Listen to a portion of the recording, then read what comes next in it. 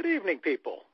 As we finish up uh, the Pittsburgh version of the polar vortex, not as bad as uh, Chicago, which uh, was reaching reaching into the 40s and 50s in wind chill. But uh, you know, I'm I'm here tonight. I'm here tonight. Should we should we go with uh, uh, with a frosty uh, nickname? Go for it. Yep. All right. Ah, we're here with Chris Milkshake Fletcher. Uh, the girls will come to my yard for the milkshake. uh, you're killing me. I I figured that was so you. That was so you. I'm I'm gonna. I, I had one for Gary that I'm gonna keep here. I'm gonna call him Gary K9 Kinn. oh. And since uh, you know you always used to compare me, Fletch, to a a little Dave Parker, I'm going to go with Dave the Little Cobra. Nice. That's good. That's a good one. I like that one. So uh, tonight uh, I have a special announcement. One of my favorite times. It's the Strat-O-Matic 2019 reorder. Time. Oh. Officially yeah, there. Well, Officially there. The 24th was the first day I saw. I got an email or something. Did you guys? Yeah. Well, yeah, it's, it's there. This this year we're going to concentrate on on upgrading uh, the review process in Strat-O-Matic. So you know, you two can. Uh, uh, what was the what was the uh, umpire's name? Uh, Pittsburgh versus Atlanta called the guy uh, safe who got tagged out halfway up the line. Jerry Mealy. Yeah, I think you may have that. Uh, yeah, one. Yep. yeah, I guess it was. Yeah, I, I was going to say I was trying to because of course Randy Marsh was famous. Of course, who was it? Who was it went out? Was it McSherry went out? It was whatever. I can't remember who the changed in that championship game. But you're right. I think it was Jerry Mealy. I think you're right. Oh, all right. So we can we can uh, we can go with the Jerry Mealy uh, uh, rule. Uh, you know, with Strat-O-Matic a little better, and the more thoroughly dynamic 1980 season, which was a huge disappointment in Pittsburgh. Lots of injuries. Blew the uh, yeah. blew the the division in the last month of the year. Yep. But uh anyways, that's always my my premium night. How are you doing tonight, gentlemen? Now that you know it's Strat-O-Matic uh, uh pre-order time. What did you buy? Did you buy 80 and and the current one, or what did you buy? Oh no, I'm I'm I'm buying the current one, and I am uh, probably going to uh, go with uh, 02 and 03 because I have 01. Okay. Um, the second two uh, of the uh, National League pennants. You talk about the early Bucs now. You talk about the 1902. Yeah, yeah, I'm talking 19. Yeah, see, I have all of those, but yeah, that's uh, 02 is an interesting year in particular, and so is 03 yeah. actually. So, um, but yeah, um, I haven't bought any yet. I'm probably I'm going to probably buy a few of them. Um, you'll get you'll get the 2018 Japanese League. I definitely will. I, I like that stuff. It's it's amazing. It really does mirror big league baseball in a lot of ways. Of course, no yeah. surprise they copy everything, but with the strikeouts and stuff, and I like that. And I always like some of those past seasons. I think they what I saw was 1912 the Negro League kind of, which is all. Oh yeah, yeah, yeah. They have that. that. Should be good. I, I generally do. And uh, somebody up there really ought to pay attention to me because it's it's sick. I mean, if you, if you looked in my if you looked in my vault, there's like a there's like a hundred baseball. Oh man, fifty hockey. It's it's it's pretty it's pretty diseased. We have to figure I'm out how to do the online thing one day. What were your favorites, still, Fletch? Uh, I'm still sitting on a mound of the old floppy disk version that I'm. if there's any way to to restore that, that would be fun. But uh, I love, you know, the the, the, the one of the the seasons I loved was the, the, both the '68 and the '69 seasons. Yeah. I think. Oh, I yeah. agree with you. You were scratch. You it were was a quick year. I, That was a quick year to go. Not not much hitting. 68 especially, not much hitting. Yeah. Changed the mounds.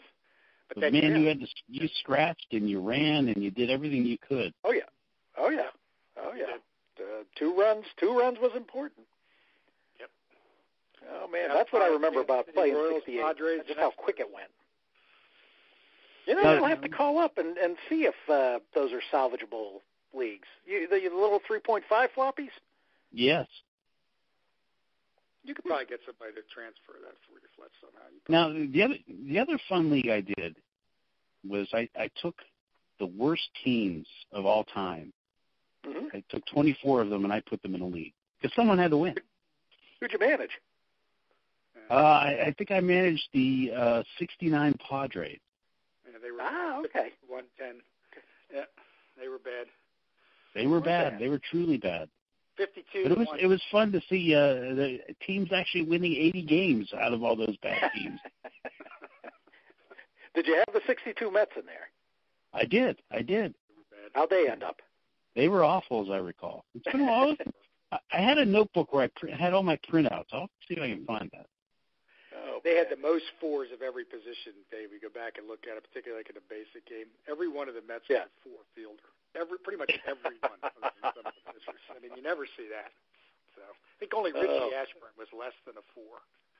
Well, an interesting thing would be to put the put the three great pitchers in that rotation and just see Oh. how uh, how that defense would destroy their stats.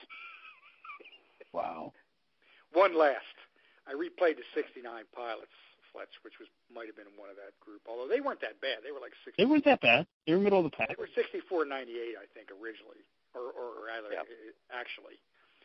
But that year, when I replayed the season to get into August, so they're playing the Orioles, and Palmer threw a no hitter on a Tuesday, and then he threw a no hitter against them the following week on Thursday. Oh God. Wow. Two no hitters against the same team within a week. You know, Oh, I think he man. struck That was Don one of the Mincher. classic He hats. struck out Don Mincher like eight straight times or something like that. So Uh, that was the Jim Bouton team. yes, it was. it was. Yes, it was. It was. Tommy Harper, Oh, Tommy man. Davis. Yep. Yeah. Well, I You're right, Uni. Dave. Classic, classic ball cap on that one too. With Great the full- uni. Oh. Yep. and a great jersey, a very underrated jersey. I I, I really, agree. Yeah. Very I was always a fan of the jersey, but uh, well, we we had some uh, jersey and hat uh, controversies uh, in the last week uh, as we uh, we had our um, 2019 Hall of Fame vote. Uh, Mike Mussina and the widow of Roy Halladay both uh, uh, deciding to go in with no uh, Yeah. logo on the hat. Uh, call him either a pussy or call him something that I do, and that that's that's the way I think because you know Halladay is still a Toronto Blue Jay. He, he's still a Philadelphia Philly. It doesn't take that away. I kind of think the the call of the logo, especially when Reggie made all his uh, made all his hay in a, a Oakland A's uniform and decided to put a didn't he put the New York Yankee hat on? Yes, he did. Yeah. Yeah, which which was bullshit. So I I I thought they were great decisions. That's what I would do. Um, you know, with the, You know what it was like, Dave? It was like what was it like? baseball cards back in the back in the early '70s when you would have the traded traded. cards, Yeah. and there and there would be just the the really badly airbrushed caps. That was it. Those were classics. Those were classics. Some, you know, uh, they didn't have graphic design back then. What were you going to do? What were some you going to Didn't do? Cena have a big contract dispute? I kind of remember him like Piazza having kind of an acrimonious. Am I wrong? No, I think you're right. I'm surprised that he didn't pick the Orioles because I mean I know he he won I guess with the Yankees a couple times and he got a Yeah, big but he- contract. But didn't didn't he? Uh, He, he he hated being there. It seemed like he hated being there.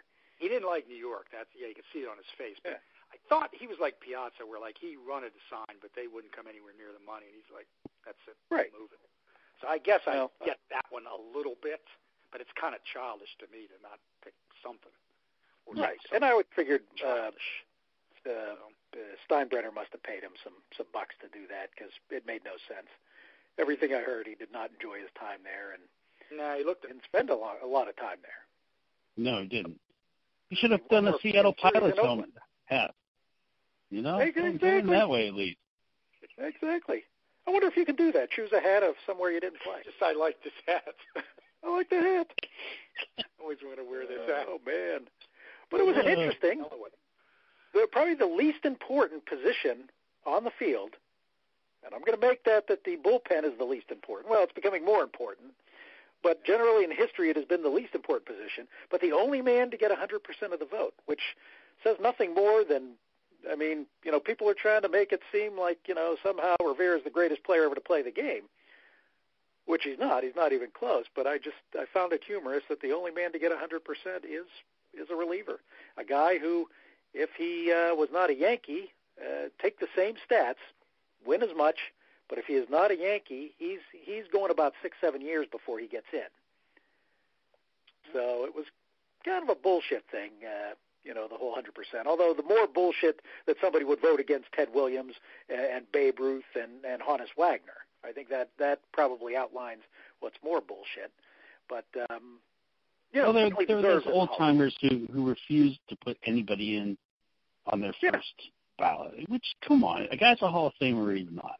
That's, yes, just I a mean- horse especially when you're you, you're of the pedigree of you know a man who hits more home runs than every team in baseball in one season. I mean that that anybody who who had that going for him was just it was just bullshit. But I mean, you know, Rivera certainly deserves it. And he is he is the best reliever of all time, and and um, you know Certainly the best postseason was- I mean, the, the, I think he got in here because he was in just about every postseason, Yeah, and he was he was he was always he was better in those situations than even he was at times in the consistency during the regular season.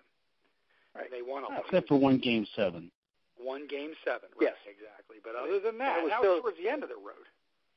But Right. Yeah, he was, was- so was- dominant I in the postseason, and Yeah. pretty decent guy. You know, he really didn't speak much English, but never, never really obnoxious. Or I mean, too much of the personality is clearly coming in now and stuff of the stuff we'll talk about. Yeah. I think it works both ways. It's almost too much here. You know, Well, a and- guy who never besmirched the game. That's not necessarily enough for a hundred Right. percent. But but he was he, the postseason just it made him. You know, it just it just Yeah. made him. So. Uh, Absolutely. And and Edgar Martinez, who I was against going in at first, uh, the DH bias probably, but looking at his stats, I mean, he had some monster seasons. He won a couple batting titles. Um, I mean, the man won his own award as a top DH. Uh, not many people can say that. Uh, getting three uh, Edgar Martinez awards. Um, I got the Chris But I- Fletcher Award. Come on.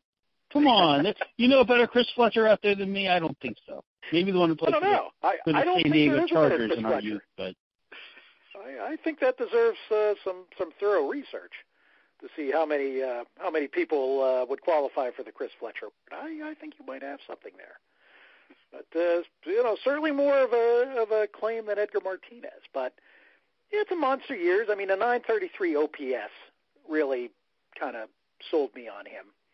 Um, you know, even though he's a wuss boy and didn't go on the field. And that's it. That's it. DHs are wuss boys. Although I saw in a recent thing that they are the highest paid position in baseball next to pitchers, which I what kind of took me by surprise because I would have thought the DH um, you were getting older veterans uh, uh, at a little bit of a savings, but I guess not. Um, thoughts on Edgar Martinez? Did you? I'm sorry, Dave. Did you go to one of us? go ahead, I- Gary, you're up. I wanted some I mean, I'm, thoughts. I'm, you know, I, I mean, I, the DH thing. I, you know, I hate the rule. I think we probably Yeah. all do. I'm not sure we do, but I, I mean, I hate the rule, but it's not going away. You know, you can't penalize a guy. It's kind of like we talked about Baines a little bit. I mean, you can't penalize a guy for what the game changed the rules to. I mean, Martinez was not a good third baseman. I mean, I remember in the early part of his career, he was kind of like Steve Garvey was. He would throw the ball all over. He was horrible. But that's the league, you know, and he can't help the fact that he was in an era where that's was the rules. So I, I can't. I, to me personally, I cannot penalize him for that. I mean, agree on the OPS day, but I mean, I think another big thing is the fact that he won two batting titles. That's Yeah. pretty big when you think about it historically, and he drove in over a 100 runs. You know, particularly in a pitcher's ballpark later in his Yeah. career. I mean, he was a pretty good RBI guy. He was a tough guy up there. So, I mean, he's a little bit borderline to me, but I just think it. it, it I guess the way I keep looking at this, 312 career average, pretty good too, particularly in the era he played in.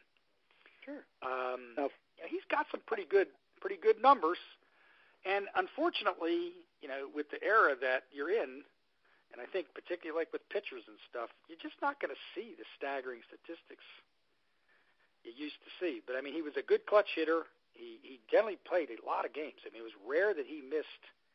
He had a couple years where he was injured a lot, but he had a lot of years where he played 150, 155 games. And I know it's a DH, but he's still in there. A lot of extra base hits. Yeah, Kingdome helped that, but he drove in a ton of runs. He did. Um, but but I don't he think probably is borderline, but I can't be bitching about it. Is the way I feel. Like it's not that horrible here. I think Fletcher's so, going to disagree with you here. I he probably it. will because I saw his his text the minute it happened. I mean, he's certainly borderline to me, but he's Which got I agree. some things you can make an argument. He has he has borderline career statistics. That was my problem. Yep. Fletcher. Well, I, I agree. I mean, I think he was borderline. I was surprised he got in. I really was. Um, you know, he did play 155 games a year, but you know what? You take out a lot of risk for injury when you're not out on the field. You do. So that's you know that's not exactly a, a great thing. Of you know, I'm going to come up and I'm going to you know have my three to four bats a game, but at the same time, you know, it, it's also I think it's a dip, more difficult position than I think we give it credit for because it many times it's harder to get into the flow of the game. I think with DH yep. than it's an everyday um, yeah. position player. So I mean, there is that to it. He had good stats. A lot of it, I think, Gary, you hit it on the on the nail on the head too. A lot of them were probably ballpark uh, aided. Yep. Um, I, I, the thing that that really got me with this is, you know, we're still trying to figure out what to do with these steroid guys. I mean, I would put Bonds in before I put Martinez in, and no even though, uh, you know, a lot of what Bonds did toward the end of his career was tainted, I think we can all agree that up until that point he was a certain Hall of Fame. Yeah. So, I um, I, I, and you don't know. Like, you know, we've talked about this before. You know, what pitchers were also on it he was facing. So, it just gets a it, it gets a little little dicey. And you know, there's still some guys, you know, from the from the older times that I would rather see in than, than Edgar Martinez. I, I'd still rather see Tony Oliva. I'd still rather see Dave Parker. I'd still rather see Dale Murphy. I'd rather see any of those guys than than Edgar Martinez. I know that that's not how it works, but um, well, I I I tend to agree with it. I I it you should. know Dave Parker's a prime example. You take away the batting average, which Parker still had a good one. I think his was 298 if I'm not mistaken. Yeah. Um, but um, I thought pa- Parker would have superior stats. And again, if I'm drafting a team, are you going to take Parker? Or are you going to take Edgar Martinez first? Yeah, that's I agree. the part with the too much statistical look and too much opinion. I mean, the opinion of Parker's play in the 70s, particularly during that three or four year run, and even after. I mean, his year he continues a pretty good pro, although not the same dominant player. Cincinnati, right. Oakland, other places, but pretty damn top flight player, you know, top 50 player. Right. You know, you can't. I mean, did you ever talk out of both sides of your mouth? Either right. were they that, and is that your criterion, or are you going to look at like I think both the inductees this year, they benefited from numbers that are certainly not, you know, at the upper echelon of the hall. But if you look at it in the era they were in, they had a lot of longevity and they piled up a ton of numbers because of it. Even Baines. Yeah. Right. If so what I, I'm not as this. It goes almost like we we we we re, we rail about like the way these guys evaluate these teams in the game now. Numbers are not the whole story. Right. The whole story is during an era were you the best during whatever period of time you want to define, and that's open to some. That's open to opinion. You know, and and I think the same thing I'd say with the steroid controversy. You know, the the facts are probably that two guys who can't get in there and can't get above whatever it is 40% or 50%, and probably never will. I'm sorry if you don't like their personality. I'm sorry if they did that, but you're right. That's the whole era did it. They were the most dominant players, and if you said I'm going to start with Clemens on the mound or I'm going to start my field with Bonds, anybody in baseball that says steroids or not, I agree with you. So, I mean, I think it's time to kind of take away, to me, some of this over-analysis of numbers and, and character, and what's the bottom line? You Yeah. know, and the bottom line is is is is that there's really no reason that Bonds and Clemens and those guys shouldn't be in there. You want to do whatever you want to say, go ahead, Dave. I know you say Right. you don't give a damn, but the facts are they were still the most dominant player. You can't say that about Mart- Martinez or Mussina, in my view. I don't know how you guys feel. No, no. I mean, Roy Halladay, I think we can all agree. Yep. Um, was certainly, Yeah. if Yep. not the best pitcher of his era, one of the top two or three. Um, Yep. I mean, um, but Mussina, I, I looked down. He's the one that bothers me out of the guys that made it um, on this. He's Don Sutton. He is Don Sutton. That's exactly 18 years. It took him 18 years to get 270 wins. He doesn't win 20 games until his final season. Yeah, once. Um, and even he, he, I mean, he gives up more hits than than innings pitched that final season that he does it, um, which to me is that's not a Hall of Fame pitcher.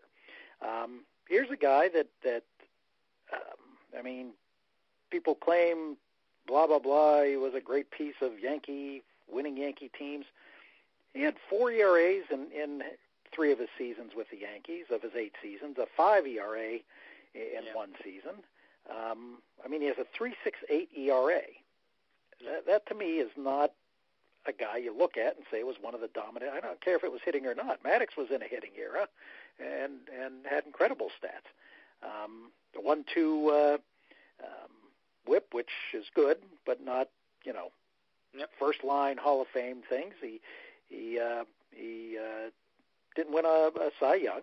Um, you know, I, I I I look at him, and you're right, Fletch. He's a, he's a, a Don Sutton at, at best, and Don Sutton is not a guy I, I would ever consider as a top-notch high. He, he's a guy I wouldn't have put in the Hall of Fame. I'm I'm not a longevity guy at all, but his average year was 17 and 10. Good pitcher, not a great pitcher. Right. Um, I mean, if I'm going to put someone like that in, I'm going to put in Jim Kaat because he could field better.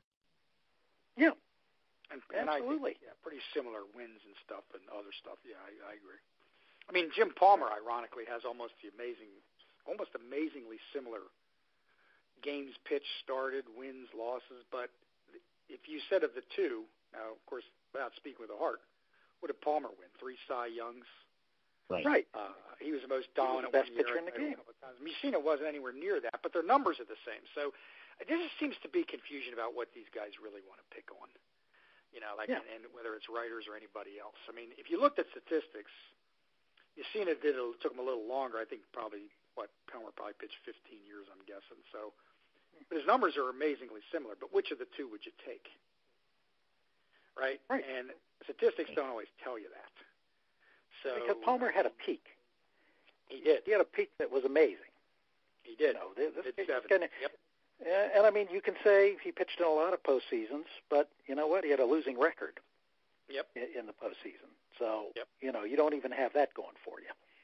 Um, But I But, looked at that um, just out of curiosity because I'm thinking, well, I'm, you know, he. I think he kind of. I just remembered he had similar numbers. The numbers are mirror image almost, other than the fact that he didn't. He wasn't around quite as long. Yeah. He didn't give up quite as many hits per innings pitched and stuff either. But he was far more dominant. So what do the numbers tell you? I mean, that, that you can't base it on that either. I mean, you got to. I think there has to be some subject subjectivity in. Are you top of your game? Were you near the top of your game in the area you were in?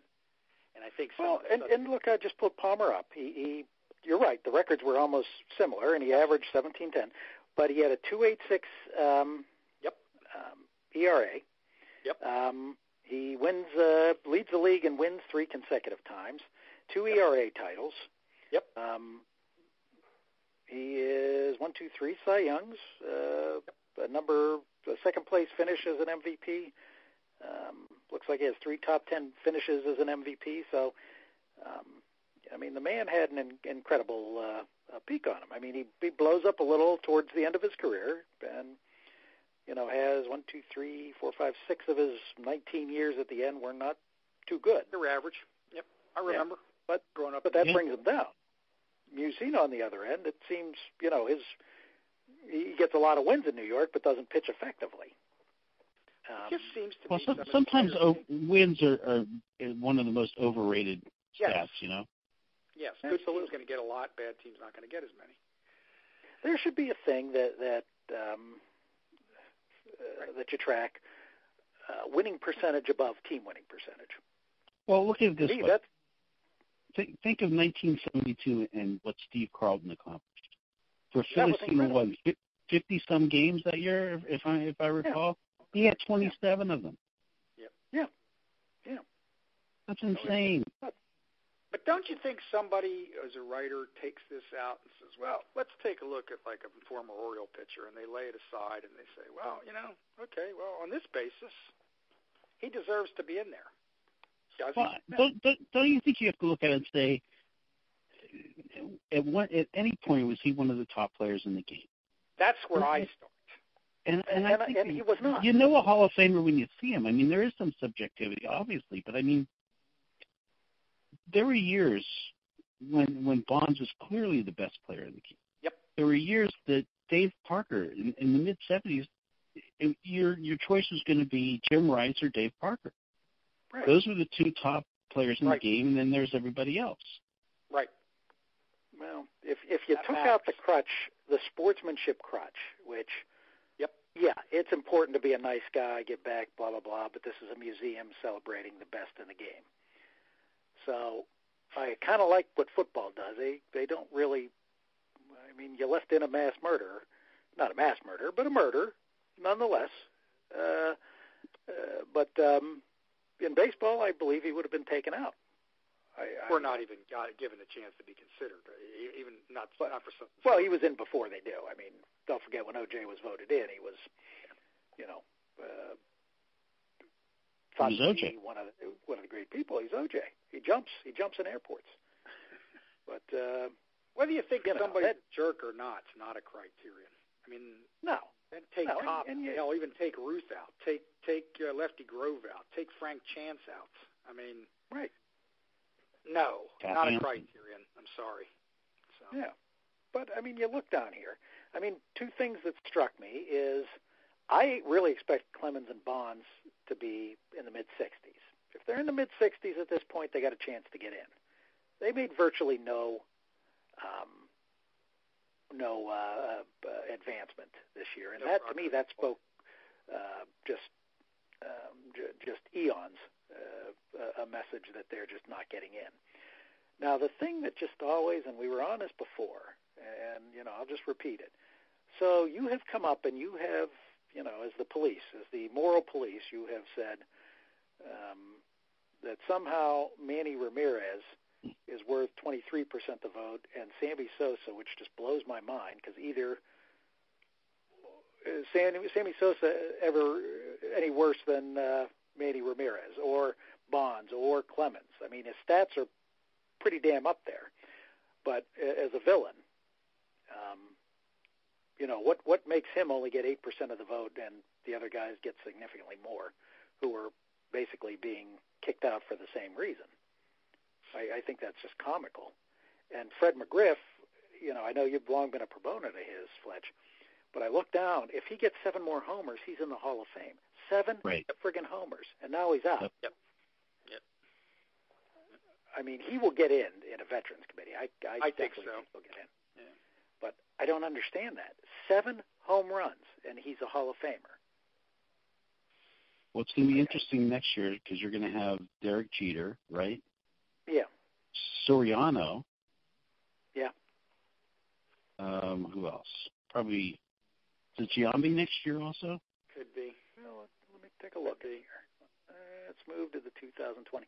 I thought also it was an, um, even though he got 0.9 percent of the vote, I thought it was very telling that uh, uh, Roy Oswalt got uh, more Hall of Fame votes than Patton Oswalt. and only slightly more than I did. Only slightly more than you did. J.J. Putz is on next year's. there you go. That strikes I'll me be coming highly out. debated. Uh, Uh, what do we got? We got Jeter, Abreu, Giambi, uh, the great Cliff Lee. Uh, Oh, Paul Konerko's in. He's in. Uh, Yeah, Adam I Dunn. Oh, that's- Dunn. Wow. uh, do you put Konerko in? Do you? no, no. No. Okay. no. All right, good. Although he's got better stats than I thought. But no, He, he, did, he, he, Sirianni. he had a lot of power stats toward the end. Yeah, yeah RBIs. So I, I'd say Jeter is the only, um, the only sure shot Well, in you, there. you have Bobby Abreu who played. You know, is he still playing or not? He's still praying, but they you know, Still not running it out. like Mario Lemieux. They'll let him get in the Hall of Fame too. Uh, Ryan Ludwick, uh, you know, he's got a shot. He's in Oh, there. isn't Adam LaRoche coming up at some point? He will be coming up. He will be coming up. Lyle Overbay, some great uh, former Pirates. Oh, Dan Uggla's got to be coming soon. oh, Chone Figgins. Right. You'll look forward to his.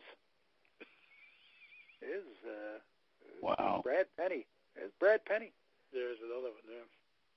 Uh, Adam Dunn. Adam Dunn has a uh, has a 9.00 ERA. I don't. I, I wonder if that'll hurt him. Well, plus he looks like Will Ferrell. That's got to help. he does. He does. Like Will Ferrell. That should help. But you know, Nate McLouth. Nate McLouth. There you go. Oh. Eligible next year.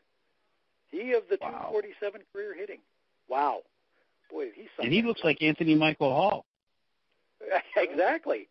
Who was in as Whitey uh, Ford? I think. Uh, I think he gave the speech uh, when Whitey Ford he was did. elected.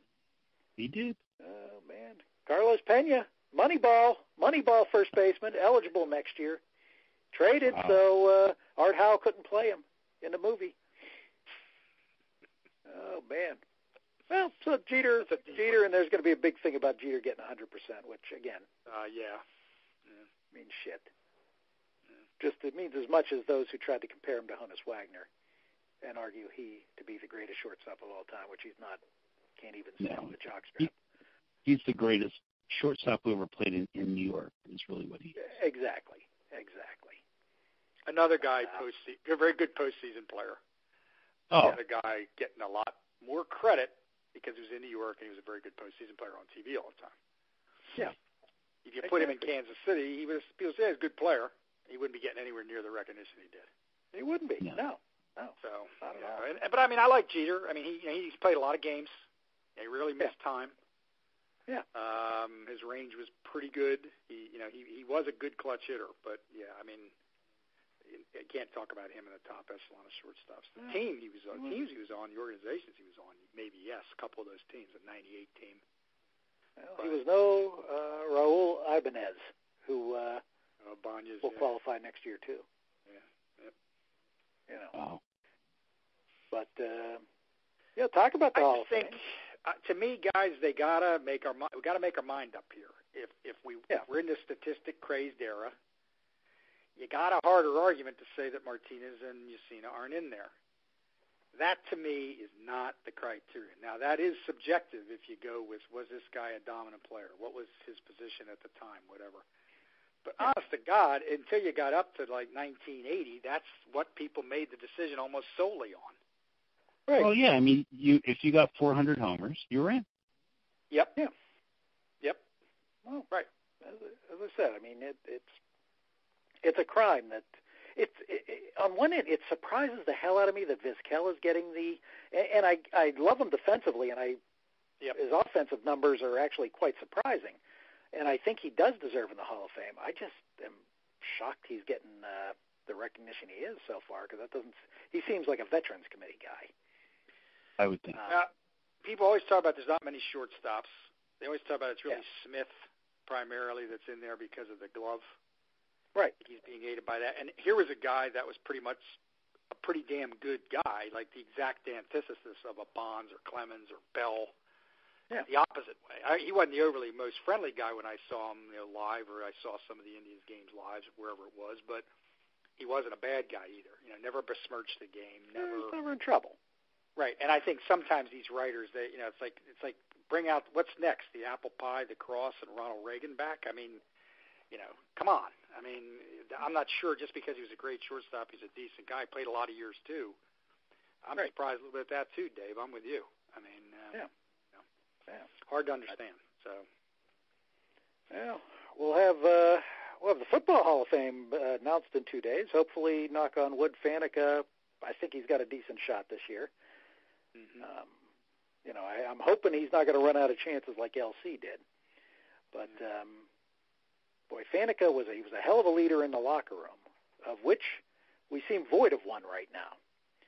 Uh, our dear Juju comes on today at the interviews, which made me laugh my ass off.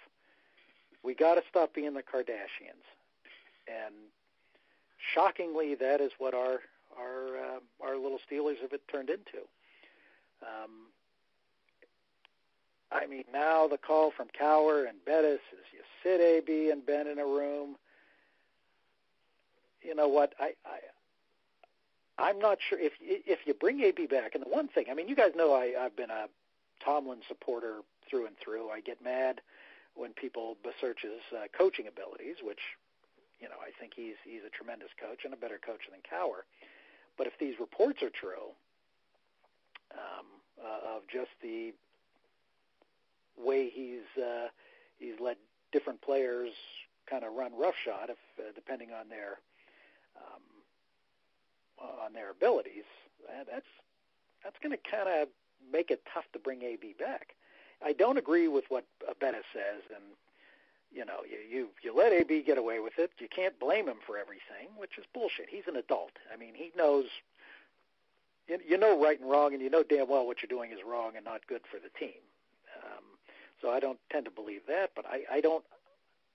How do you let a guy like AB come back? Um, I mean, I I know it's going to be cheaper if they um, if they actually keep him and pay him to sit on the bench, um, because you get 21 million nicked against you if he leaves uh, in dead money, and I think 14 million if he stays. But um, I just don't see how how you bring him back at this point and say all of a sudden is AB going to be a you know a team player at that point? You got to come. I mean, can Tomlin is he the type that's going to end this uh, this star treatment, so to speak, and let guys get away with this and that? Because there is no leader in the locker room. Ben is your leader. Ben is a horrific leader um, when it comes to the locker room because Ben is a is an all about me kind of guy. Um, so I I just I, I don't see any way you can bring AB back at this point. You might have to settle for a second and third round draft pick to boot, but I mean, two questions beg to be asked: is is Tomlin, if it's all true, what uh, what was written? Um, I forget. I think it was an ESPN article. Um, is he going to be able to change around and and do the Belichick thing, where you know we're a team, we all have to do this. If you don't do it, blah blah blah. Which, um, I mean, it also takes a two-way street. Brady seems like the kind of guy that'll do anything he can to um, to win a game.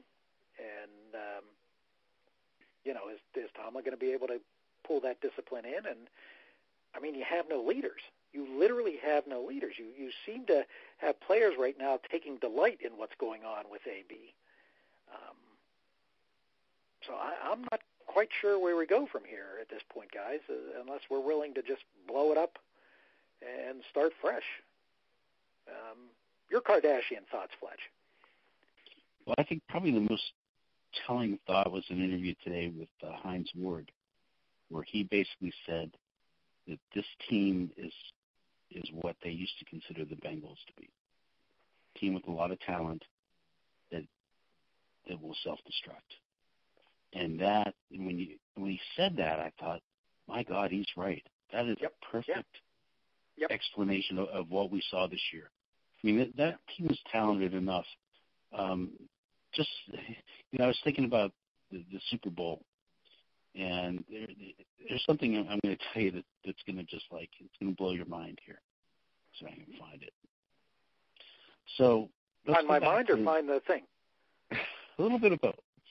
Um, let's go back to its draft weekend, NFL draft weekend last year. Okay. Okay. So CBS Sports puts out their their odds for winning the Super Bowl. No surprise on, on their favorite. The pundits have the Patriots at five to one. They had the Rams at ten to one. You know, our two Super Bowl teams. But their number two pick was your Pittsburgh Steelers at eight eight to one. And you think about everything that went wrong this season, and, and, and now you also have James Harrison, another former Steeler, former Super Bowl MVP or Super Bowl star, uh, came out today, and you know you know he's taking great delight in piling on this whole Tomlin thing. But you know, they had a lot of great leaders when when Tomlin came to the team, and you know, people said that you know he's a players coach and he, he policed people. Don't forget one of the first things he did when Casey Hampton showed up out of shape for that first training camp. He had him sit out on a field by himself on an exercise bike. Do you remember that, Dave? And he you had- remember that? That was that was humiliating yet funny all at the same time. it was both.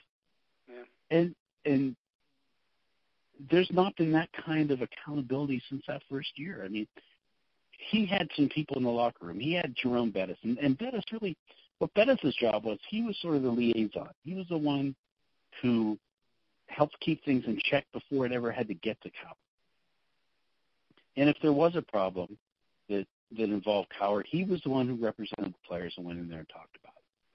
They also had, you know, strong-willed people like Joey Porter. They also had Aaron Smith, who didn't say a lot, but who led by example. And they had Hines Ward. And, and the other thing about this thing, this thing with Hines Ward today, which which I just found astounding, him saying that, was I never considered Hines to be the ultimate team player. You know, I mean, I, I thought that he and Ben had their their ups and downs, and Yeah. and but you know, the funny thing, remember the year that Hines held out?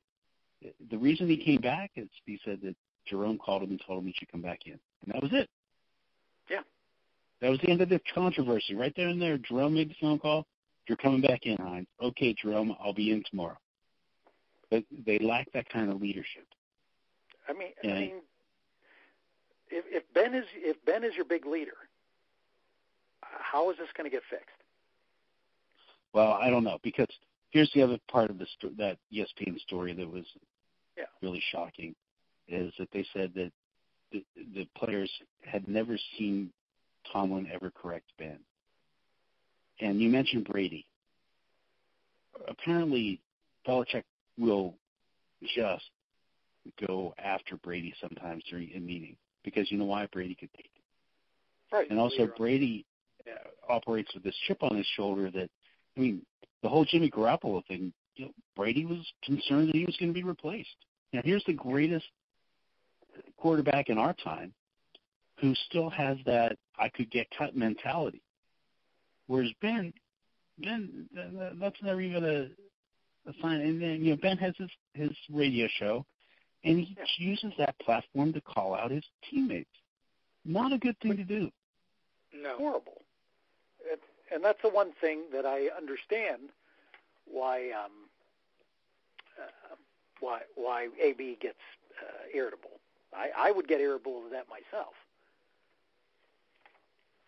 Um, but you know it, it's it's a circus over there and and the other part of it is i don't know if you guys have heard any of the the uh uh interviews that that art rooney jr has done but he doesn't seem to think that there's a problem of culture on his team that is a huge problem Well, he he appears to be out of touch about a lot of things, even during that anthem stuff. To me, I, he, I don't get he- it. He's clearly Peter out King made it it- versus his family members. So Peter King made a great comment about him. Um, he said that he sees the way he sees Rooney is that he's just still feeling his um, um, still feeling his oats as an owner. And you know, Dan had had his um, his father around Yep. as he was really starting out, and that's that's the one thing that he probably needs right now more than anything is um, you know his father to um, kind of help him through and, and, and get through. Because you're right, I, I don't know that he does see that there is a is an issue. I mean, that's unbelievable from the outside. That's unbelievable. Does, Yeah. he, does he have ESPN or ESPN Plus? Does he turn it on? I mean, the the joke it's funny, but it's not funny at all. And to me, it's disappointing. I've said many times. I mean, here you had a model organization in a lot of ways. Yeah. It took some criticism, maybe rightfully so, about the concussion cover-ups. It probably took some criticism from time to time that they would negotiate with anybody for a while, the Barry Foster thing and some other stuff, although Foster was a jerk off. Right. But I mean, they had some negative things around them, but in terms of this kind of nonsense, yeah, you know, like you were saying, Dave, a couple weeks ago or whatever, you know, Blunt was going to sue Noel and all that kind of. Anytime you got a bunch of big egos in a room, I don't care what it is. Hell, even us probably, right? You know, you're going to have Yeah. some difference of opinion, but they didn't tolerate this kind of nonsense. And now it seems to be constant. So if Rooney thinks there's no problem, you got to wonder how out of it is this guy. Now maybe he doesn't want to say more publicly. I don't know. Who knows? But No, I mean the other thing too. I mean, you, you hear the players are all, all talking about, you know, they they they would welcome AB back, and you know, on the surface, they have to say that. They real they really don't have a choice. Yeah. If they're going to try Yeah. to move him, you can't you, you can't devalue him before he goes. Right. I mean, they said the same thing about uh, Le'Veon, Le'Veon Bell until he wasn't coming back, and then they raided his locker. So, but uh, I, I mean, I, I understand the game that's going on here. I just, um, you know, what are you going to get for AB if you move him? Maybe a late first round pick. I mean, you're not going to lose. You're going, to yeah, Dave. You are going to take that salary hit, salary Yeah, cap hit, yeah. but keep in mind. You're not taking the hit from Le'Veon Bell, so that's going to free up some of that. So maybe that sting isn't as bad as it, it would have been. Yeah. Well, I, I again, I, I I agree with you. I, it's probably not as bad, but you can't keep him. How how do you keep him at this point? I don't know, but but how? Here's the thing that I just don't understand. He essentially quit on his teammates, Right, That's my issue. right, and that's the most important game and of the year. and how Right. do you welcome if you're if you're in that locker room? And you're right, Dave. I mean, a lot of them talked about they they they just they they enjoyed the situation to see what he can get away with. Right. Yeah, that's You bad. know, and again, that to me, Yeah. I'm not going to say that's no respect to Tom. I'm going to say that's no respect to to Rooney. Mhm.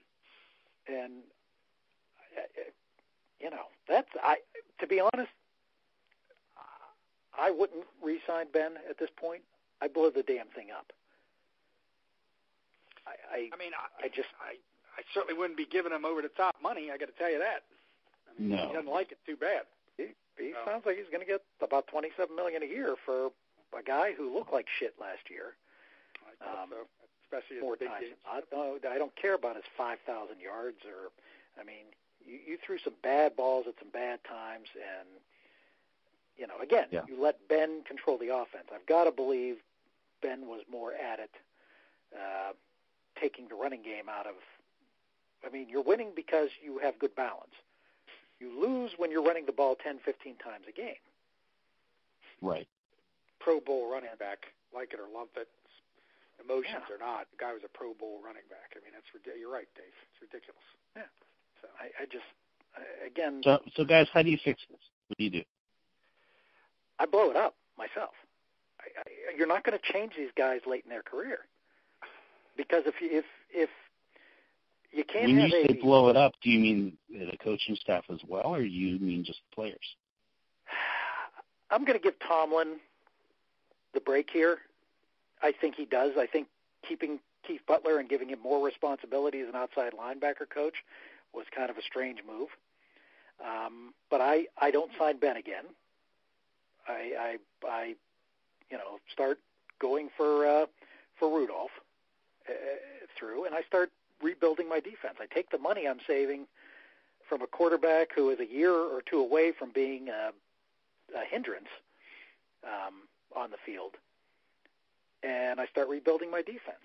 I start, uh, you know, giving this guy, uh, uh, you know, a couple years to mature, and while I'm building my defense, and if you can get a solid defense in the next year or two, well, you know what? You're going to compete for Super Bowls a lot better than you can now. You can't win a Super Bowl with that defense. I don't care what you have on offense. And if you don't have AB, Juju becomes less of a, a threat. And Washington might get there one day, but he's not there now. So, I, I just, and don't waste a first round pick on another receiver because you you got to fix that defense. You got to make that defense what it was. Um, so that's what I mean by blowing it up. No, I wouldn't get rid of Tomlin at this point. I would, if I'm Rooney, I would certainly redirect him as Dan Rooney seemed to do with Cowher in the in the early 2000s. Um, and to Cowher's credit, he, you know, he he, was kind of getting the same criticisms, if you recall, as being too much of a player's coach. Um, when they But he had leaders in the locker room. Yeah. So it was. I, I went to look at some of the old articles. It was pretty much verbatim what Tomlin's getting hit around with, and that's you know I think Tomlin has enough of a resume that you give him the opportunity, but you gotta you gotta get a little tough with him too. I mean, obviously this is not working the way it is. That's what I was going to say. Um, and I don't think it's just him. I think at a couple fronts that's got to be the case. I, personally. Yeah. I mean, And you got to put it on Colbert too. He's the one putting the personalities in the in the room. Yep. Um, but that's what I mean by blowing it up. Uh, basically, if you're getting rid of AB, don't re-sign Ben. Let him play out his last year, and then um, you, you move on without him and take take uh, maybe take a, a bad hit or two and start getting some stud defensive players in there. You know, Pittsburgh will support a team that doesn't score 30 points a game as long as it's winning. Yep. So I don't buy this. You know, we got to entertain the fan bullshit. Pittsburgh yep. fans have shown just the opposite. That's I mean, a hell, key they, thing to do there, and a key passion there. It's different than other places. It, it's different. You know, it's different than playing in you know the middle of the country somewhere, even California. I mean, it's that's a Right. passion there. It's intensity. It's Green Bay, bigger. I mean, people are going to keep going there. That that's a bunch of nonsense. That's the modern world with this entertainment stuff. I mean, I, it yeah. can't be completely boring, but if you're winning a lot, people are going to keep filling them seats. So what do you do, Gare? What do you do with it? I mean, I you know I'm I'm kind of around where you are, but I'm I'm I'm thinking about it a little bit bigger. I mean, I I I think Tomlin's had a good enough resume. You know, we're not there, so we don't know how difficult these personalities were. Maybe did try to rein some in, they just didn't do it. Unfortunately, these guys are under contract; they're making a fortune. You do have to have talent to win. Nice guys don't win, just like we're talking about in baseball all the time. But you know, if I'm the front office, and I don't know if Rooney's the guy. I mean, I remember some of the ridiculous comments he made during some of that anthem stuff. Like it's just he's completely clueless. And it sounds like he's clueless from what it was. It was you, Fletch, said that he doesn't, or Dave, he doesn't think there's a problem. I mean, how can you not think there was a problem there? I mean, what are you, 12? I mean, Well, I mean, the players are telling I- you there's a problem. I mean, you can see it. I mean, Yeah. you can see it on the sidelines and everything else. You can see it what happened late in the year. You can see it with this nonsense all over, like you know some, you know, some sitcom or like the Kardashians thing is funny. It's a good, you know, Schuster's a pretty bright guy. Some of the stuff he says. Yeah. I mean, I mean, to me, I give Tom another chance, but I'm telling you, you know, stop with the dish rag everywhere. Front office, uh, we're not doing that again. You're the coach, and your coaching staff. We're not going through this stuff ever again. You know, talent's got to be tolerated a little bit differently sometimes, but some of this stuff was just utter nonsense. You know, Right. and he can't control the media following Bell working out in some stupid health club somewhere. But I always said during the season, remember, guy, ignore it. You Yeah. know, and and I think just ignore that stuff. I'm not talking about that. I mean, I don't love Belichick at all. I can't stand him honestly, but I mean, I kind of respect him and even Reed and some of those guys. They, they won't talk about that stuff. Like, get that back. Get that organization back. Start with the coaching staff. I, I agree with you. I I think I'm not. I don't know enough about Raymond. I'm not the football guy you guys are. You got to have Ben for maybe the next year, but I certainly wouldn't be bending over backwards to negotiate with him, and and I wouldn't say much. And if he has a good year, then he, you might have to think differently. If he has a bad year again, you can say, look, this is what you're going to get, Ben. If you want to come back here, if not, too bad. We're going we're going another direction. Yeah. So I agree with you. I don't think I'd make it public though, and honestly, I would have a conversation with him too. You know, we're tired of your own shit. Yeah. I don't give a shit about his radio show so much, but but, but in that locker room and when we're doing stuff, and whoever the offensive coordinator says we're going to try this first, then you're just going to shut up. Sorry. Yeah. You know, you're an employee. Okay. You know, he's he's as bad as Brown and and Bell were. Worse, perhaps. Right. He's worse than some of these NBA clowns to me. And I can't see bringing a guy back that was that disruptive. I don't care how good he was. I hear the seven million difference or whatever. Probably not going to get enough now. He helped make it that way. Yeah. I think it's like any other company. You know, we all worked for them. We worked for organizations. Or I see when we went to Duquesne. Remember how poorly run Duquesne was when we were there? It's run Yeah. a lot different now. You can see that if you just go to a basketball or football game. I mean, when your organization is running roughshod and out of control, and I'm going through it now again, you're not Yeah. accomplishing much, and all kinds of stuff like this happens. Get the machine back in order. Okay, not everybody has to be an automaton. You can't win with a bunch of slow receivers, you know, and an offensive line that's undersized. But and I'd pick my leaders. I mean, that, that defensive front, a couple of those guys, and that offensive front. It's hard for those guys to be big time leaders because they play a, a silent game. But you know, it used to be in Pittsburgh, and I don't know. Pouncey's been there a long time. He kind of made the first comments about some of this stuff that was out of control, if you remember. Well, he, he's he's also made some out of control comments himself. He has, and I think, but again, with anybody who's got the potential there, I would identify them and I'd say, look, I'm giving you this he, ring. he, Pouncey's like one that seems to be taking joy out of this. Yeah, I mean, I don't love some of the things. I, I, I don't, I don't know it as well as you guys do. I don't follow football that close, and I'm not in Pittsburgh. But they got it. It seemed like there was a couple guys there that were kind of silent, just do the job. You know, Yeah. they they may not have the personality for that, but you got to have a few guys that have that potential. And I, I would go to it, and I would tell them we're going to expect you to kind of police this in a little bit. Unfortunately, you're always going to have these ridiculous personalities now, particularly in football and basketball. It seems in baseball a little bit, but particularly those two games. Media helps Mhm. foster it. Not going to be able to rein it in, but you better rein it in enough that you got your machine going. There's a reason why New England keeps going back to these things. Right. I think they they do it on like Fletch said in the past. They do it on the backs of some stuff that kind of runs guys out of there after a while. But this isn't this isn't kids football. This isn't for fun. This isn't just entertainment. This is a huge business. Huge risks you take, and your your windows are short. So you let this kind of stuff go on, and that becomes more the circus. It's just too much distraction. And I keep going back to the fact in combat sports you can't have this. You know, like whether it's you know, or rather contact sports like football or hockey or stuff like that. It's tough enough to get through all the punishment and the, and the grind and all that kind of stuff that you go through and the physical beating to have this kind of stuff going on too much. It's just too distracting. So Yeah. I let you know I I didn't even want to hear about the other guy again. You know, I would hope that like uh yeah, the the guy, you know, the was a Bell, I don't want to hear about him again. Uh, you know, as far as Brown's concerned, I would make the best deal I could. Um, I certainly don't want him back at all. I think the quitting part was a big part to me. He seemed to get worse as the season went on, and everything that comes out of the guy's mouth is pertaining to him. You know, and and I'm not talking about the character of that, but you know, in football, that is especially ridiculous. You know, it's like Terrell Owens without even the you know, it's it's like it's, it's Terrell Owens just not quite as obnoxious. You know, that kind of thing. After a while, I don't care how talented you are, it becomes just goodbye. And I don't know if I, if if I if, if Rooney has any stones at all, or that ownership group does, I would get some of I would get Tomlin first. I'd get Roethlisberger second. I'd get some of the coaching staff, and I said, "This is the way we're going to go. I don't care if we go seven and seven. We're starting on a road back to non-Circusville." That's how I would go. And and I'm you know I'm far from somebody that likes to take orders, and I'm far from somebody that likes an IBM machine. But in some regards, when you get this out of control, I don't think you have much choice. I mean, I don't want my logo or my storied history to be sullied across ESPN and everything else like this year after year after year again. If Tomlin can't do it, then I would say I'd have to move him Dave. But I would be willing to give him a chance to take back control. And honestly get some of the animals out of there that were in there before. It may not be as big of a deal.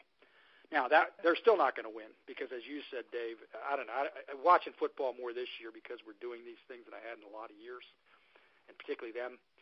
I mean, honest to God, he can't tackle at all in the defensive backfield. The linebackers are way too small.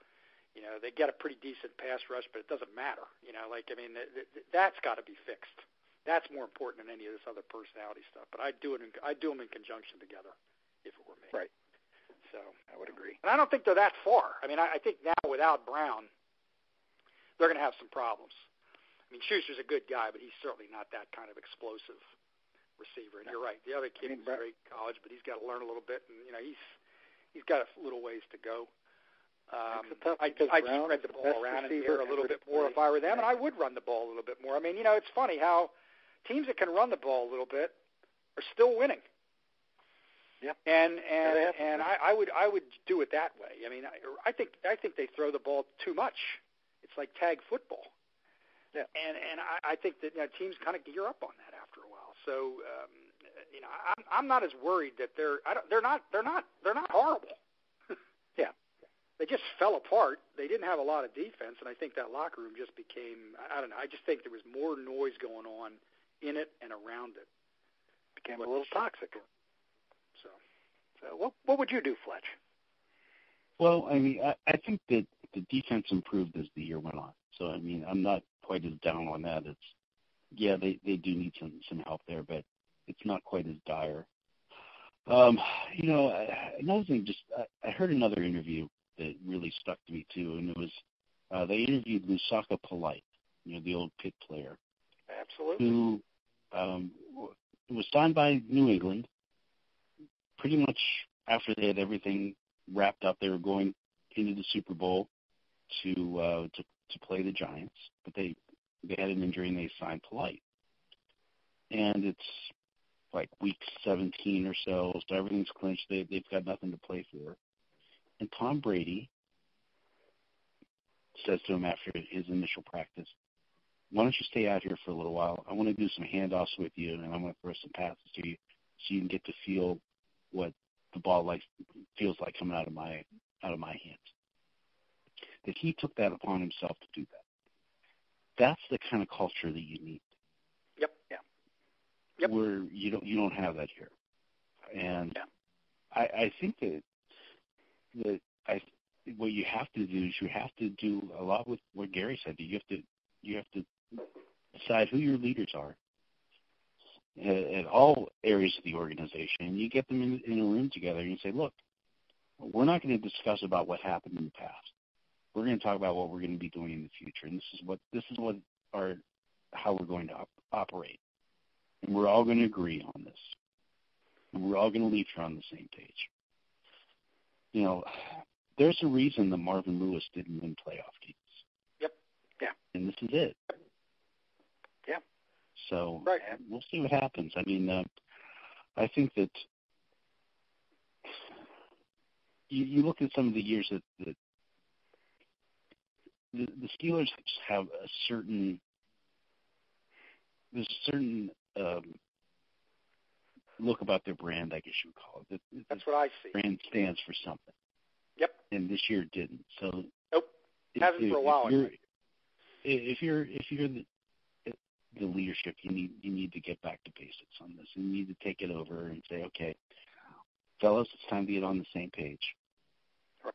And if they can't do it, then Dave, I think you blow it up. Yeah, So no, no. one more year. I give it another year. I would. All right. All right. One quick story. Well, uh, they certainly have the talent. I mean, without Brown, it's going to be difficult. It really is going to be difficult. is. It is. I mean, it's you're a- hoping James Washington makes that step.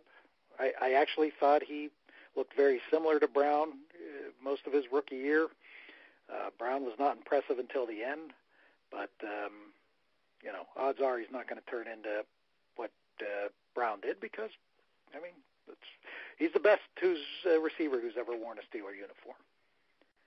I, I think he's a certain Hall of Famer. I think. Uh, you know, it's it's a crying shame that his tenure is going to come to an end like this, but got to do it.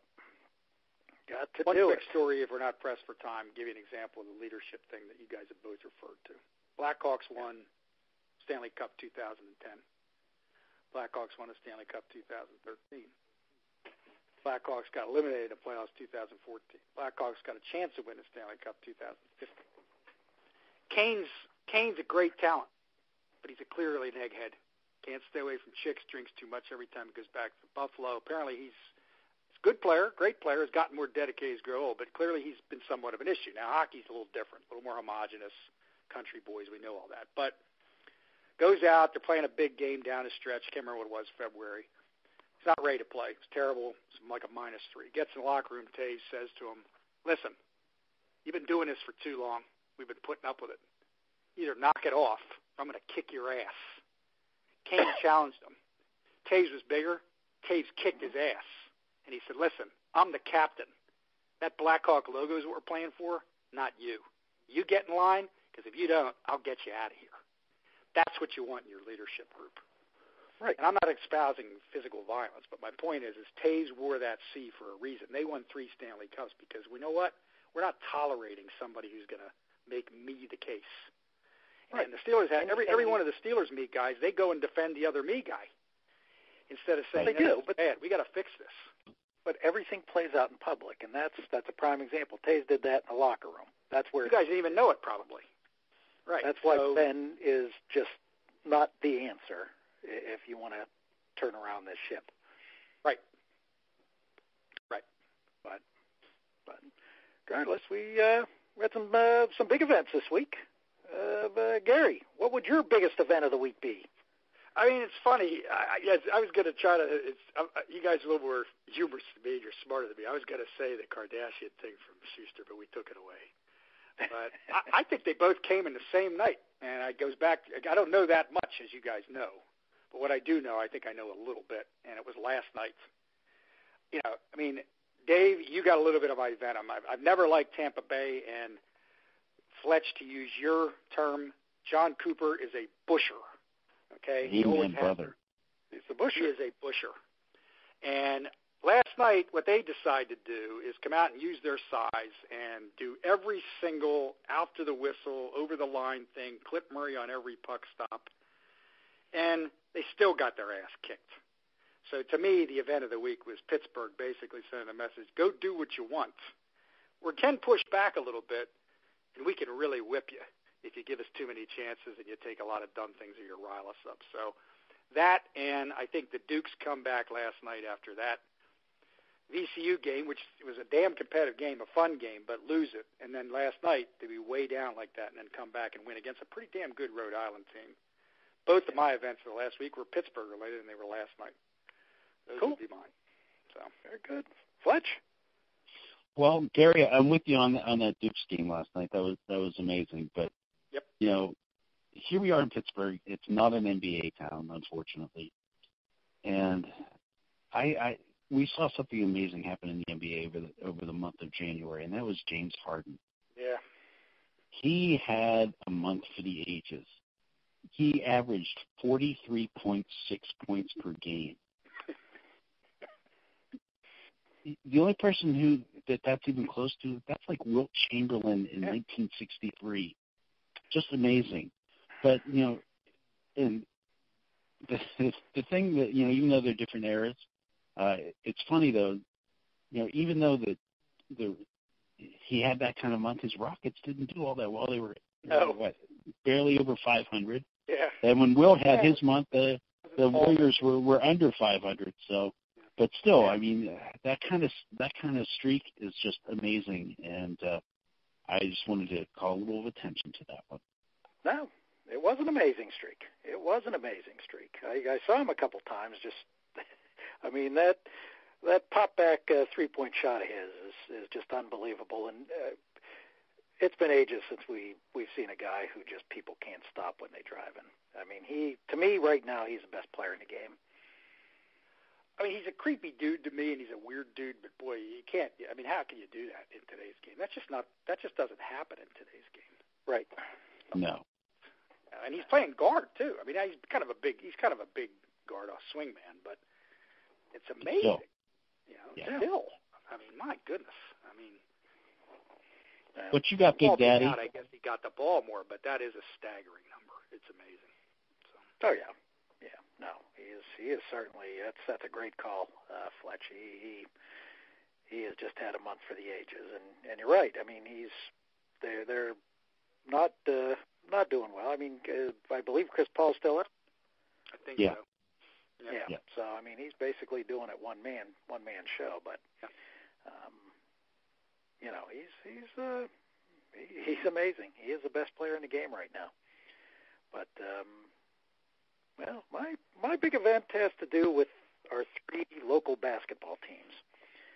Um, I think uh, Pitt's game against Clemson kind of um, showed that maybe they were burning out a little bit, like Duquesne did last year, um, Yep. playing shorthanded. I mean, Pitt really is playing shorthanded this year, um, and I think uh, we're about to see them pretty much go away as far as any threats. But on the other end, I, I, I'm certain Capel has them going in the right direction, like Dambrot last year.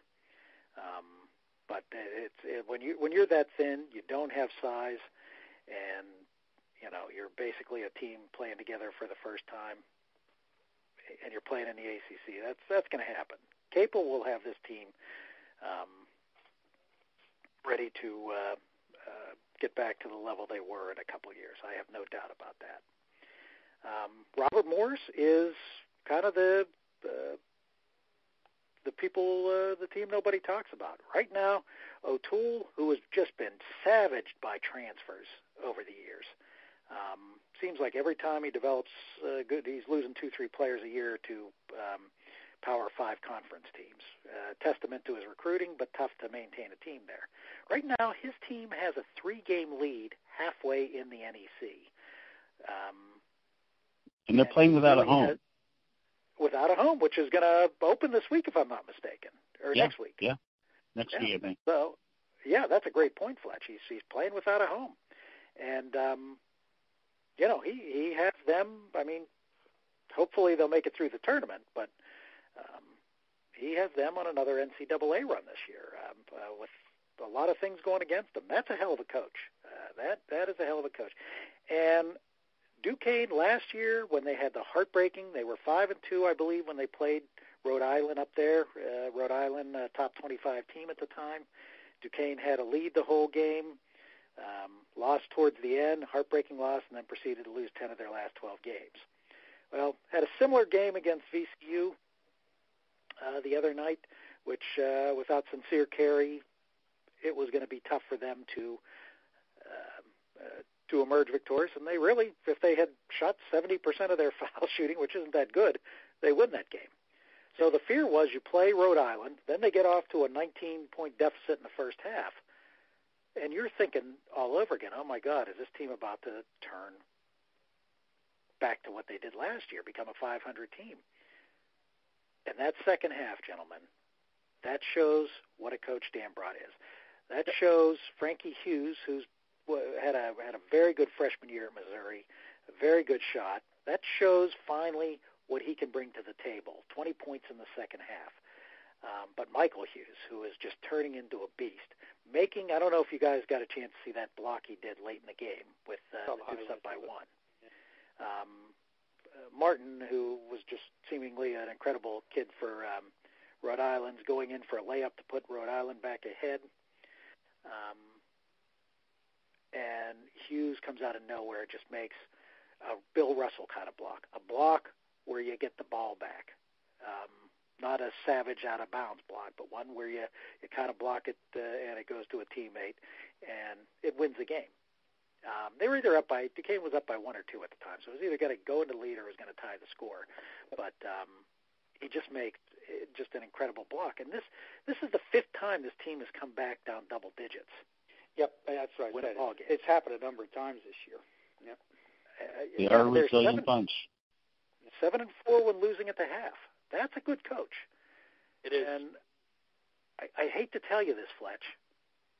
Oh boy, here we go. If it doesn't happen this year, it's happening next year. Your I think so. I, I you know, Dave, I, I'm I'm coming around. I, I think that uh, Join, join us. Join us on the bandwagon. Come on, he jump up. is, uh, he has me excited about the team again. Well, I mean, look at Carry. This, this is this is what I always say: the greatest mid-major or lower-level football or basketball coaches. They can look at a kid, and they can see something nobody else does. This kid is going to what is it, Mercyhurst or Yeah. Edinboro? One of the, he's going to a PSAC school, and has no Division One offers. Uh, apparently, he had been injured, and that's why he wasn't getting a look. But Dambrot looks at him at a college uh, showcase and just looks at his assistant coach and asks, "Am I seeing what I think I'm seeing? Why is nobody giving this kid a a scholarship?" And he offers him a scholarship, and he's probably one of the most efficient freshman players we've had in 30, 40 years. Yeah. On this team. So I, I I think it's I even mean, more than I- that. The kid that comes in, Da- Dunn-Martin, is really not a true point guard. But he can play it, but I mean, they don't lose much.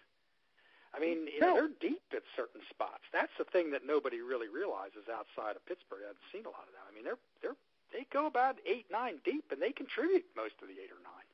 Well, That's even with the big guy that got injured, the Rotroff or whatever. that I guess is out for the year. I mean, Yeah, but Biz Bisno comes in, uh, the other the other big freshman, there's a and pointer, three pointers. Yep. yeah, I mean he, he there's no drop off. This is what when we're we're talking about the Steelers a- and what makes a team. This is what makes a team. Everybody buying into the system, everybody understanding their role, and everybody giving 110% no matter what the score is. Well, I felt there was a problem coming with Williams, Dave. Remember you and me chat about that Yeah. a little bit in December? Yeah. Now we're not seeing any problems. So somebody went, and now these are kids versus men making millions. I get that. Right. Right. But still, somebody said, look, you're a key part of this team. Knock it off, or we're going to move on without you, apparently, is the way it looks to me. He's still a little moody sometimes. That might just be the personality. But, I mean, he's he's back in the fold, and he's playing pretty well, actually. Well, So I- I, mean, I he was never out of it, but he's not pouting now or sitting there being sat down for whole halves. well, So I, uh, I somebody's doing the right thing there. I agree. I think this game was the game that we're going to look back and we're going to say this is when the the program really took the next step because that that was you were looking at a bad history. You're looking at what happened last year. Tough team. You're down 19, and you know what? You lose that game, even if you don't lose by double digits. If you lose that game, you know what? You're you're going to struggle to finish in the upper half of the the teams. Now all of a sudden you got a confidence. You still haven't played many in the bottom half of the league. You've had a tough. That's what I was going to say. You know they've had a tough start to the season. Pitt's had a tough start to the season. Uh, they they got some LaSalle coming up terrible. They got some bad clubs coming up. So so let's hope that they give the same kind of intensity, and that I'm dragging you, Fletch. I'm dragging you with me. I've been we've been you know you you've mocked me for too many years about this. Now I think I think I'm actually right. You may be right. There's a few more people showing up, and I mean just a few, but there are a few more people showing up too, which is also. Well, they will. They will. They've got to prove it over a longer period of time. Yep. But um, anyways, we got the big game coming this Sunday. Uh, what's what's your call for it, Fletch? Well, I'm I'm going to be contradictory. So just I mean, it's going to be a little stream of consciousness thing, but you know, okay. the Madden the Madden uh, football has has a 10 and 5 record in the Super. They okay. do their simulations. They play 100 games, and they announce who's going to be the winner. And this year, uh, 61% of the times, the the Rams win the game. But here's the thing, guys. The Rams they they can't afford to play like they did the first two playoff games. They got off to very slow starts. I think they're outscored something like 20 to three combined in the first quarter by the Cowboys and the Saints. Then you flip the coin, you see the Patriots came so strong out of the gate. You know, the, the game against the, the Chargers, they had a, like a 14 play, 83 yard touchdown drive that took about half the quarter. Then the next week they did the same thing, the 15 play, 80 yard touchdown drive, 8:05 off the clock. So that's uh, that's a little troubling. You know, the game may be be decided up front because the Rams are very susceptible to the run, and the Patriots who were near the bottom of the league against run. You know, suddenly they look like the steel curtain. You know, they they've turned it around in, in the first two games. They've given up something like 30 yards per game on the ground. So I mean, that's that's pretty impressive. The other thing that troubles me is the high-scoring teams like the Rams. They seem to bog down a lot in the big game. I'm not sure why that is, but I think you guys see where I'm headed. The only hope I have is that the Rams follow that um, that tried and true method of beating the Patriots, and that's where you make Brady feels uncomfortable. It's Finoli in a room full of bacon haters. You know, picture that. so if Aaron Donald can be extra disruptive, there's a chance. But uh, you know, that being said, guys, Patriots have adjusted to having a limited downfield passing game. They're running the ball really well, and you know, they're they're protecting Brady for the most part. Um, I, I think that uh, they're going to use their ball control and red zone finishing. So it's going to be, it's almost going to feel like that year when the, the Giants and, and the Bills played, I think. Uh, I take no joy in this prediction, but here's the thing. I'm going to be eating like a pig, hoping to see some cool commercials, and I'm going to be digging the nugget nectar that I'll be bringing. But I think the Patriots... You made my, you made my, uh, you made my week are going to uh, earn that sixth ring. I really do. All right, all right, Gary. I mean, I I think it comes down to the offensive lines too. I mean, um, and I don't. Again, I'm not as deep here, but the Patriot offensive line, Brady got hit a lot this year and sacked a lot, but not in these playoffs. I mean, they've been Ooh. great. They've been great in these playoffs, protecting him. Now he's moving the ball quick. He's got more options than Goff has to go to in the air too. But you're right, Fletch. They're running the ball pretty well. But I mean, on the other hand, though, Donald and Suh and those guys, they can create a lot of havoc. So I think whoever wins that offensive line, and I think the other way as well. I mean, I think when the Rams can run that football and pound it in there, and Gurley's got two weeks to heal, whatever's wrong with him, and obviously something's wrong with him, but you got two weeks to heal. If if, if they can pound it inside and wear the Patriots out a little bit, Goff is great when they're running the ball. When they're moving the ball on the ground, you know, he they run that play action all the time, and then he's hitting everybody. And he doesn't have as many options outside, particularly with the guy that's been gone for the year. I can't remember. Is it Kupp? I guess it was. But um, I just have a feeling. It, I think you're right, Fletch. I think it's going to be a closer game than a lot of people think. I just hate to say it too, as much as it troubles me. I, I think it's going to be close, and I think late. I just, I don't know if Brady's quite as impressive as Staubach was, you know, when the game's on the line, but he's been there so many times. Uh, he doesn't rattle. If it's a close game, and I think it will be, I kind of think the Patriots win late somehow, field goal, late drive, something like that. But I, I think it's going to be an entertaining one, though. I mean, I could see a 28-26, you know, something like that, 31-28. Like I could see it be back and forth a little bit. It always comes down to the offensive lines. I think in the first quarter, whoever it, it's a it's football's become a game that's got a lot of shifting tides because of the rules, but it's going to be interesting to see who's winning that battle line of scrimmage early. But I think the Patriots win late in the close game. Hate to say. All right. Well, I'm going to go against you guys.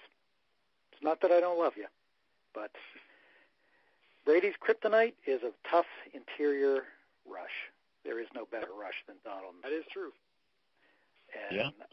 I not only see the Rams winning, I'm going to say it's going to be 31-21. I think they they control the ball.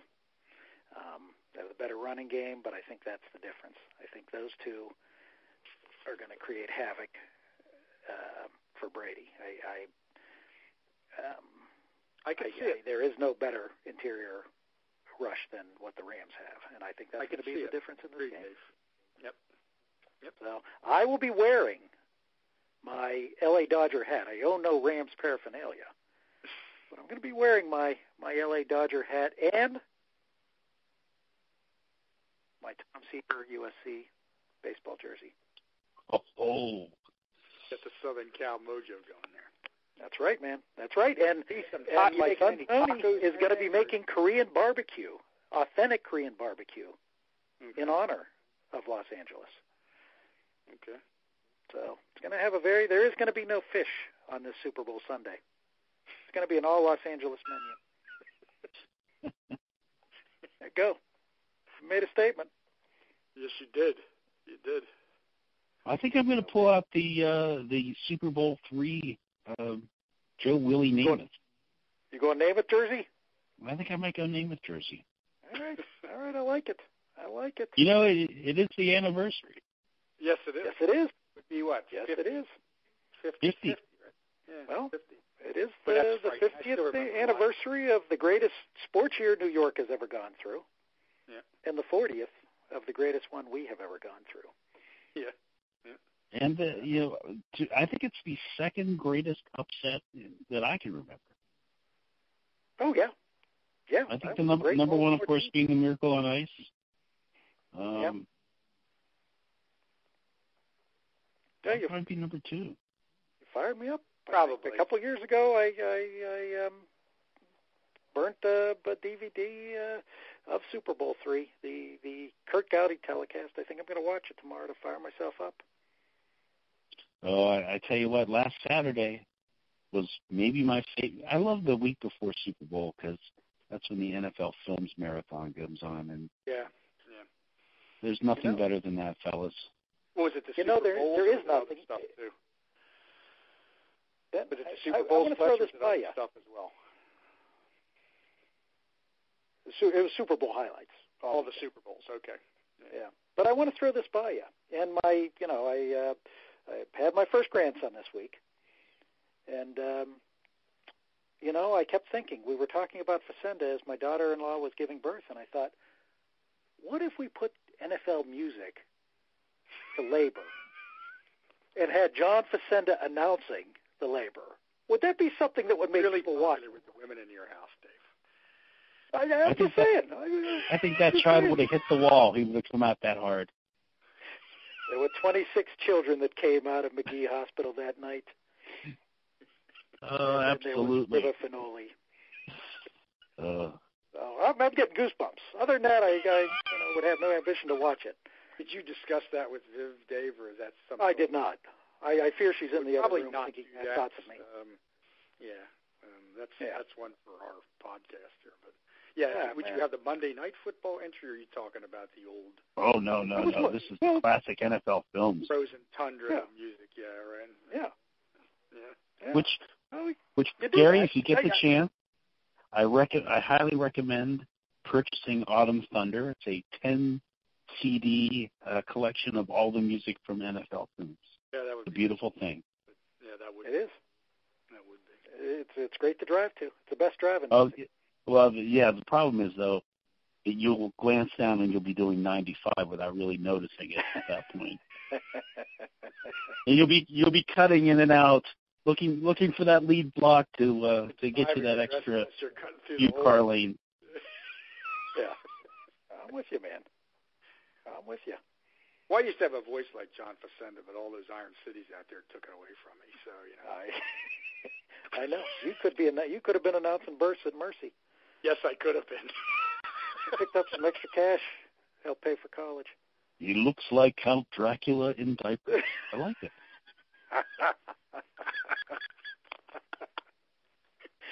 oh, oh, and the slow mo feature on your iPhone. A couple. Of Oh, That's a, so I, I sometimes think, am I back? Am I 20 years old? Am I loaded again when that thing happens? Like, it, doesn't it give you that weird feeling? Like, what just happened there?